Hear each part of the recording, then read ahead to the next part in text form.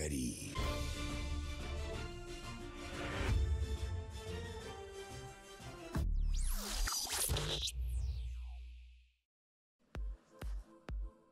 What's going on, guys? Welcome back to the channel. We're here with another episode of Mad Men. Hopefully, you guys are ready. We're gonna just gonna jump in. No long intro this time. All right, so you already know what to do. If you want to watch more episodes of Mad Men, you want to watch them early. Check out the Patreon. Check out the original channel. Links are down. Just, links are down in the description. Let's jump in, man. I'm out of here. See you guys for the review.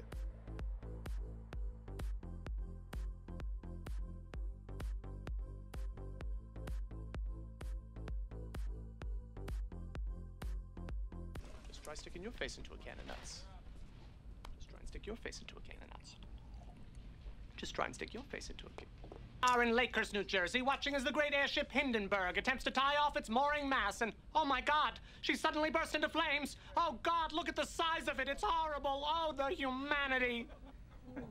Damn, who is that? Get a wider lens, right? We want to shoot her in cinema fat. Hey, Jimmy, uh, what do you say we take a little break? Open your mouth, sweetheart. I want to see if Geppetto's building a fire in there.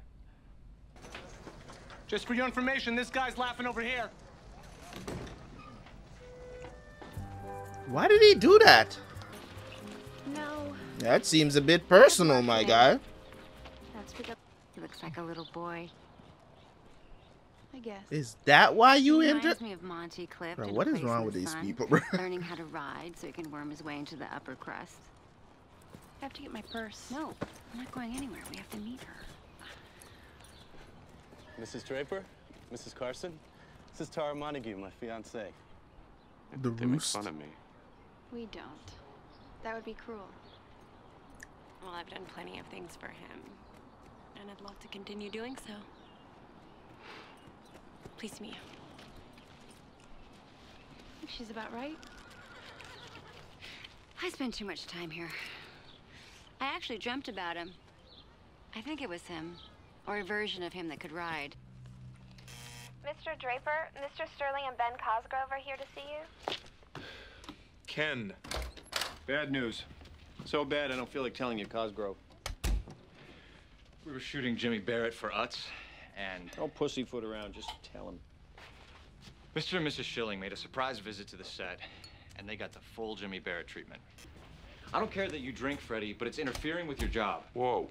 Only an idiot would put Jimmy Barrett in a room with her. No visits. How bad was it? He called her the Hindenburg. And uh, he said something about the whale in Pinocchio. I stopped it right away. So, what we're dealing with here is you failed to control Jimmy Barrett, and you failed to control Mr. and Mrs. Utz. So maybe both of you aren't suited for these tasks. Mr. Phillips is here. Perfect. Someone needs to talk to Jimmy. Well, I'm sure he'll feel real bad about it tonight and give her a call. Don, can you work him over? Jimmy Barrett is a known quantity. Don's going to fix it. He knows what that nut means to Utz and what Utz means to us. I'm going to talk to the Schillings, then I'm going to explain the facts of life to Jimmy. That'll work. A guy like that must know how to make a charming apology or he'd be dead. Stand. I'd like to find a way not to be cruel, but I don't think it'd be serving either one of us. Are you firing me? Oh no. It's nice to see that you care about something. I think you're not suited for this job. What did I do? In addition to being incompetent, you threaten my reputation, and not just today. Mr. Draper, I try to cover for you all the time. You do not cover for me. You manage people's expectations. Can you be more specific? You really want that? No, I guess not. You're not suited for this job. Stick to the switchboard. Please tell Miss Holloway on your way out. Yes, Mr. Draper. That's just so wrong. Finding ways not to go home. You've been trying hard to do the job, but it's hard to, to it's it's so hard to be a secretary for somebody who's constantly out. It's like manage people's expectations. All right, hey, he's not um he's not here right now. It's- you know what I'm saying? Is I mean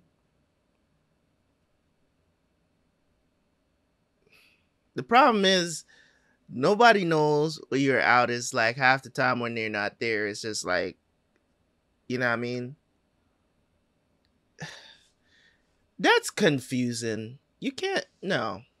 I'm not gonna give you that one don. That that was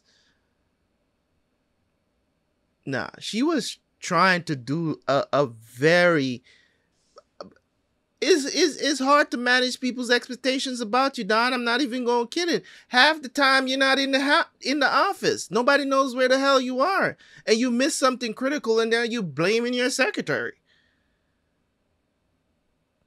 Right? That's not cool. Cause the we don't you don't have you know what I mean. Y'all didn't have cell phones during this time, in no capacity whatsoever. So there's no way to reach you. I think they could beep. Uh, do they have beepers back then? Did they have beep? I don't even know, bro. But at the end of the day, there's no way to reach you when you're out and about. You were watching a movie while something important was going on, and you wanted to manage people's expectations around that. Like what? I mean, she told him what they told her. Hey, he's not in the office right now. What do you? What do you want me to do? I don't know where he is. Like, no, nah, I can't give you that one, Don. Come here a lot, do you? Not if everything is running smoothly. So buy me a drink. I think there has been plenty of drinking here. Great. So let's go talk to him. There's no reason for that. Talk to his manager. How can I help you? I've seen the man sober. He's not funny. Mrs. Barrett. Bobbie. He can come in here with vomit in his pockets for all I care. But these people are his benefactors like the Medicis of Florence. They're patrons of his art. The Schillings were very excited to see their favorite comedian. Then they know that being picked on by Jimmy Barrett is a compliment. No one was laughing. That's not what I heard. I'll tell you what. They're in the big city for the weekend. Why don't they just go out and buy a thicker skin? Wow. In fact, I'm pretty sure he already hates you. Really? Some glib ad man in that suit, cigarette perfectly in hand, not a hair out of place, here to tell him he's been a bad boy. Well, he has been. He has to know that you're a fan. And that he knows more than you. And that he's got a shot with your wife? Girlfriend? Both? Wife. Let me drive you over. Give up, will you? It's raining.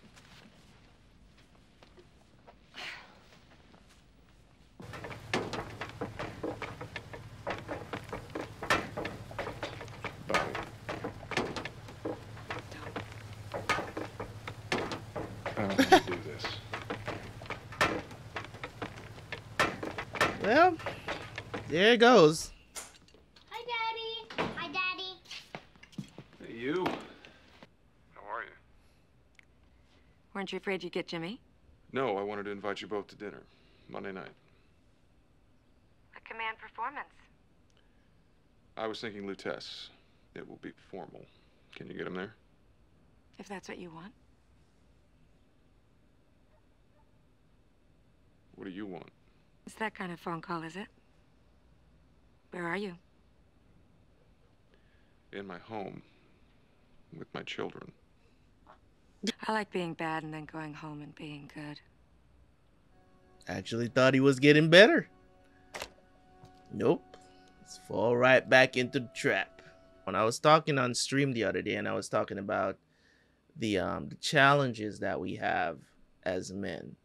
And I think a lot of times when people see like red pill content and stuff like that on the internet, you know, they um, they automatically just go to the extreme and is part of the red pill, you know what I'm saying?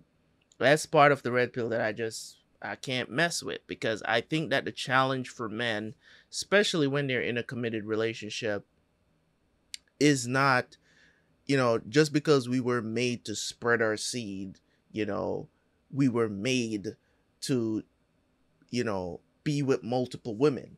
The, the, you know that you can miss me with that logic because it, it, it doesn't make sense to me. Um, the reason why marriage is a commitment, the reason why you know when you're in a relationship, it should be one my yes, you know what I'm saying. You ask any man if they would if they if they had a wife that was just a wife right? And she's okay with you sleeping around, you know, from the get go, of course, most men is going to take up that opportunity. Maybe not some, maybe not everyone, but most men is going to take up that opportunity to do that. Um, I think the reason why marriage is so sacred, let me get to my point, is because it's a challenge for both. It's a challenge towards men and it's a challenge towards women. I'm going to speak on the challenge for men. The challenge for men is to not be sleeping around. It's the biggest challenge that we have because we are so naturally inclined to have sex with anybody else. With it, we, you know what I'm saying, with, with with every woman in the world, and and not bat an eye, and still be able to love, um, still be able to love your wife, right? Because it doesn't really mean it doesn't mean you know casual sex don't mean nothing to men, right? It's it's just what it is. It is just another girl. You know what I'm saying? Uh, I just want to bust a nut but I think that's the challenge for us though, to stay faithful. I think that's one of the biggest challenge for men in relationships is to stay faithful. That's our challenge in marriage. Not so much with women. Women step out because, you know, for whatever reason. You know what I'm saying? Shit, it could be the garbage I don't carry out and they, they're upset, so they decide to cheat. It's it's it's it's weird with women. Okay, they're emotional. They're all over the place. Um, but I believe that's the real challenge um, when it comes on for for men in relationships. I think that's the true challenge of staying um, faithful to that one woman because we're so inclined to do the opposite. You know what I'm saying? It's crazy. You know the Scott Fitzgerald story, A Diamond as Big as the Ritz? No. Her house is a slightly smaller version of my high school. And I realized why she was so happy all the time and why she was so angry when she didn't get what she wanted. All girls are like that. You aren't. You don't know that. So different than Tara. Tara's very beautiful, you know that. She doesn't need anything. What she does need, anyone can get her. You're nervous about getting married. You'll see. You don't know what she'll mean to you. Arthur, I like being around you. Don't say anything to ruin that. No. It's just my people are Nordic. My people are Nordic. Man, if Don't you do that.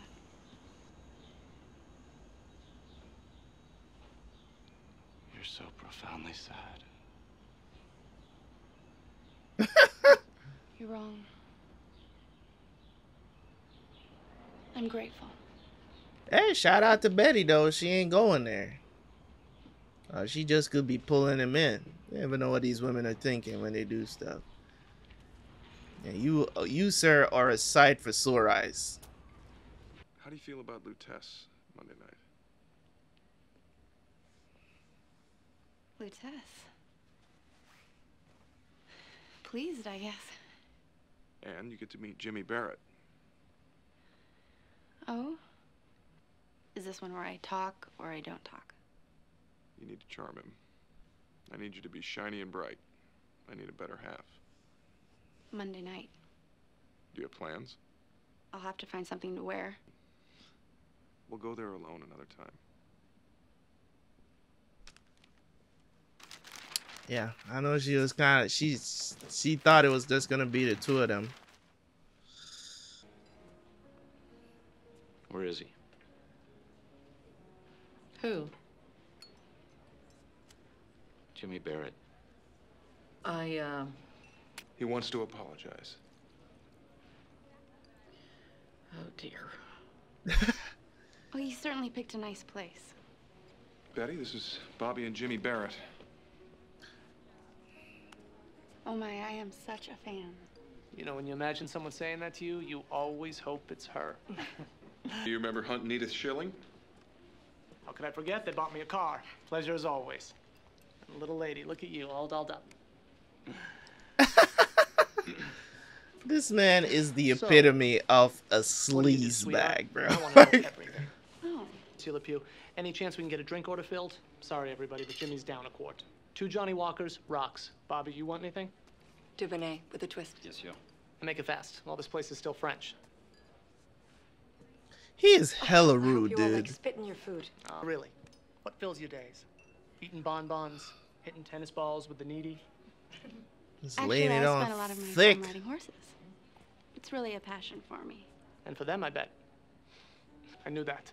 It's the same kind of saddle, but I do jumping. You two do any jumping? I'm sorry, can you excuse me a moment? Let's talk about horses, huh?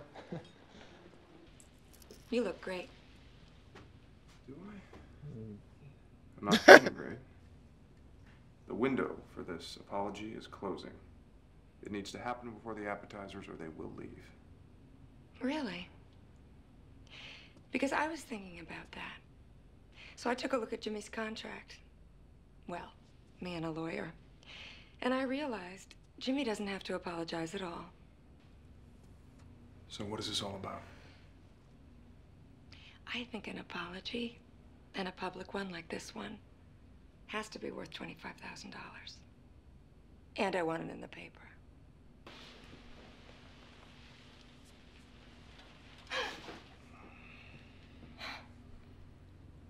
Believe me, I will ruin him. Do what I say. Um, okay.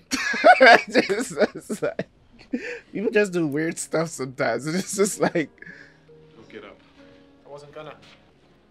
it's like, do what I say to me. To the, um, Well, I hope we haven't ordered yet because there really is something that we need to get out of the way. Honestly, uh, I'd rather eat your chips than anything in this dump. They have snails here, you know. It's a shilling. Edith. I was out of line the other day. I shouldn't have said it to you, and not just because you're married to him, I shouldn't have said it to anybody. Not in that environment. Sweetheart, look at me. You too, Hunt. Can I call you Hunt? There's the guy under the lights, and there's me. He's made me rich, but he hasn't made me very nice. I know that's what you do. I guess I just don't have the stomach for it. Let bygones be bygones. I guess mm-hmm. he was he was definitely out of line. Like, he, as much it, it, there are situations where stuff like this is, you know, in my opinion, when it comes down to this, because we live in such a such a weird soft place in the West now. You know what I'm saying? Where you can't make fun of fat people. You know what I mean? Time and place. Time time and place is what I would say. You know what I'm saying? You can't just do that. Like if you're gonna talk to a fat person about their weight and they're getting too heavy, or you're gonna joke about it, let that be between you and the person. You know what I'm saying? It's kind of like making fun of that person in front of their face, in front of thousands of people. You know what I'm saying? This not it's just not funny. it's just it's just not gonna come off as funny. You know what I mean? Cause I I you know what I'm saying? If you're overweight like me, I thought to myself, and if people roast me, I don't give a damn about if people want to roast me or not. You know, I have a little stomach, you know what I mean? Um I don't care, but she even though she's well overweight, she's way overweight. She should not be that heavy.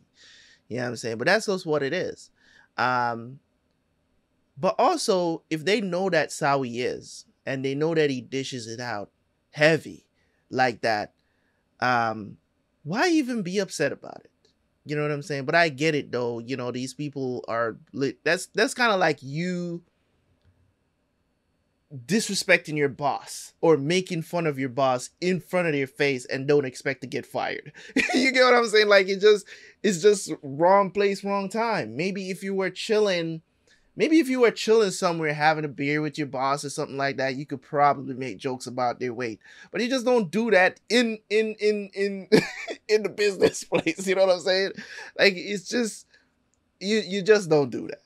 You know what I mean? What's she crying for? That's you, all right? I think so. I've had this conversation so much in my life. I, just, I You're happy? When I said I wanted to be a, a part of your life.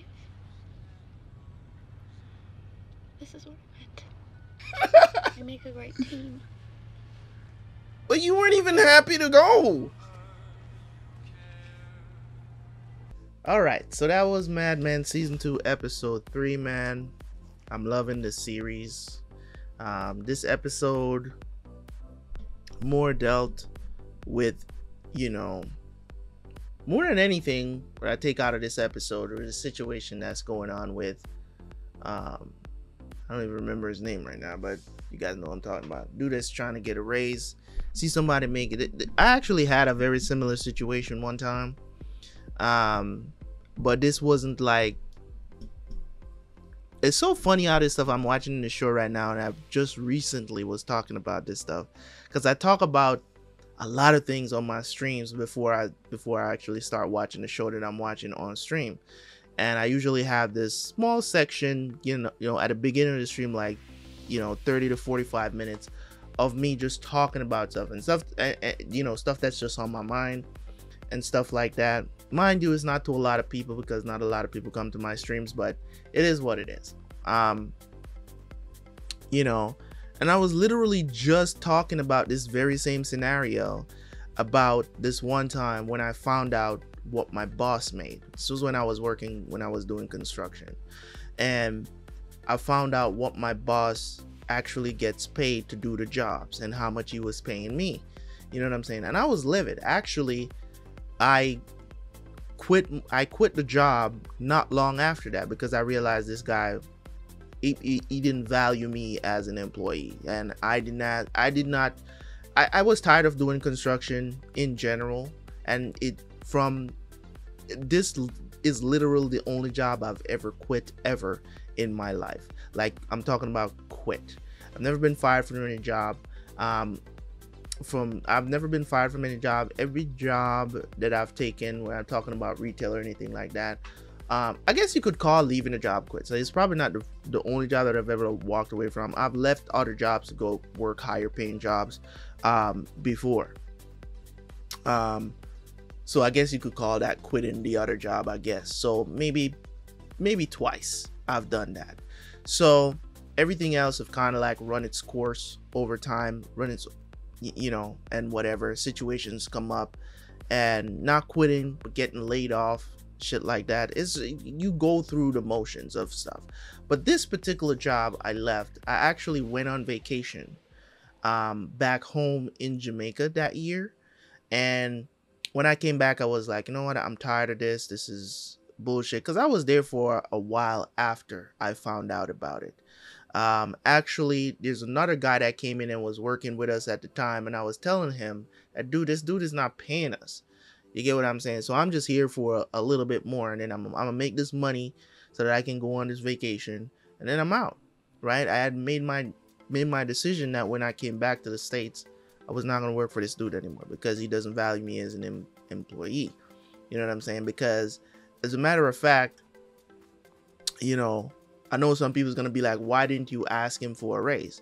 I didn't ask him for a raise because I had just previously got a raise. I don't know what the hell I thought that was because it wasn't it was nothing. You know what I'm saying? This man wasn't running some sort of enterprise or anything like that. It was just me and him working together. He was a subcontractor for a company that does construction, right? So he's essentially he just gets paid to do jobs right? So he would, um, he knows how to do the job. He has somebody that helps him doing, which is me. So it was just the two of us. We go everywhere. We're all over the place doing jobs for this company. And based on how long the job is going to take, that's how they pay him. So some jobs will be ten thousand dollars, some will be twenty thousand dollars, whatever. And over the course of the time, say for instance, the job is only going to take like three, maybe four days, maybe a week, sometimes even two weeks whatever the situation is throughout that time, that's what I would get paid. And I'm getting paid by the hour. And when I worked it out about how much we were paying, how much we were getting paid, how much I was getting paid, I should say, it didn't add up for me. I was making I was making literally $80 a day. Right? I was making look look at the you know what I'm saying? Like I'm I'm talking about I'm doing as much right? I'm doing as much. He has to figure most of the stuff out. Don't get me wrong. If you were to say compare comparison to who was more skillful on the job he was the more skillful person on the job. No doubt about it. Never doubted that in my mind one day.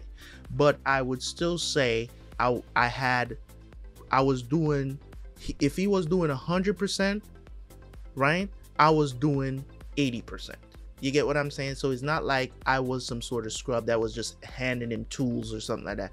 I was doing some hard stuff as well. So I felt like I was worth more than what he was giving me based on what he was getting paid. And I was like, if he's paying me a hundred for every hundred I make, he's making two thousand. I don't think that's fair. I didn't think that was fair. So yes, I could have negotiated, but I was tired of doing construction anyway, so I walked away from the job. Uh, mind you, it didn't take me long to find another one, but you know, it is what it is, right? So I do understand where he's coming from. Where you got to know your worth. Um, you got to know your worth. You can't just sit down, you know what I mean, and just take whatever comes to you, you know, and just accept it. You got to know what you're worth and negotiate for it. He saw an opportunity and they recognized him. It was kind of like plot wise, it worked out for him. So I'm not even going to say nothing on that um, because plot wise, it worked out for him. Um, you know, they just happened to notice that. Most of the times, you don't get noticed for stuff like that, for doing stuff like that. They might look at it and be like, oh, this was a great opportunity, whatever. Anybody could have done it. You know what I mean? But I'm glad that he watched and is like, what do you want? Because he, he actually took initiative. I mean, what if they never called him into the office? He would have never gotten that raise. You know what I'm saying? If they never called him into the if, if Sterling didn't call him into the office and said, you know, they they bothered me about this, so now I got to do something about it. So what do you want? You get what I'm saying? And I think he should have he should have negotiated just one more time and try to see if he could get 250 because a lot of times, yes, he didn't want him to find out that he knows somebody that makes 300 a week, but you know what I'm saying? He I think he could have negotiated a little bit more. You know what I'm saying? But you know, sometimes you you you settle too quickly in negotiations and you just got to eat it. But that's just what it is. So that was pretty cool to see them doing something there on the business side of things. And then also with the situation with this Jimmy character that roasted this fat woman. roasted her to die kingdom come. As I said, there's a time and a place for everything. You don't just you know what I mean? Like as much as I don't I don't um condone that kind of thing up like around me and stuff like that when it comes on to fat people because my my my mom is a heavy set person right and my mom is constantly trying to get her weight down because she realized that she made a lot of those mistakes back in her younger days now i don't make fun of i don't make fun of my mom because i know she's actively trying to get that down now if you're a fat person you're still just eating eating eating eating eating eating eating eating eating eating eating you're just eating right and it's like you don't see where you need to stop right? If you're getting to that lady's level that's in that's in this thing right? If you're getting to that level and your your husband is not saying nothing about it i mean they're, they're literally just waiting for you to die of whatever it is that you have. You know what i mean? They're just waiting on you to die because i don't think i, I don't believe that that's healthy. It's just and it's not. You get what i'm saying? It's not like what my belief is. It, being that big is not healthy. You know what I'm saying? I'm a little overweight. I still need to to to be in the range where I need to be for my height and my age. I need to, to drop at least 20 to 30 pounds. And I have accepted that, right? I've accepted that, that I need to do that. And I'm working on it. You know what I'm saying? I'm working on it. So it's a, it's it's a tough situation. As I said, time and place, it was definitely inappropriate what he did in front of all those people and embarrassing her like that. That's it was uncalled for. You get what I'm saying? Like it wasn't like this person was asking for it. She just walked in the room and you just started roasting her. Like you just don't do that to people. you know what I mean? Unless you know you're on a comedy set so people know you're being a comedian and you're just being roasted. You're just the the new you know you're the what do you call it the new you're you're the new person on the block, whatever. I don't remember the saying, but you get you get what I mean. It was just inappropriate. If you guys disagree with me, you can put it in the comment section. I just felt like it was inappropriate for him to do that. Um, and he he ended up having to apologize for it to not lose the business. Um, so Don Draper had to take charge, and he's back to his cheating ways. Um, so I'm I'm I don't know if he actually cheated. I mean, or he stopped. You know what I'm saying? I don't know if he actually slept with this woman. To be honest, they didn't show it. We just gonna chalk it up because, you know, what I mean, he's that type of dude. So it it would not surprise me if he did. So in any case, guys, thank you guys so much for tuning in. As always, man, I'ma see you guys uh, next time for some more Mad Men. Don't forget to like. Don't forget to comment. I'm out. Peace.